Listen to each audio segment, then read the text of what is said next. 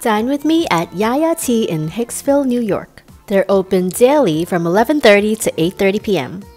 We stop by occasionally either when we're in the area or craving some bubble tea with onigiri. The spam again.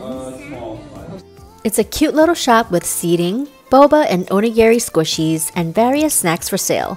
And icing on the cake is their owner and staff are extremely friendly, which makes our stay even more pleasurable.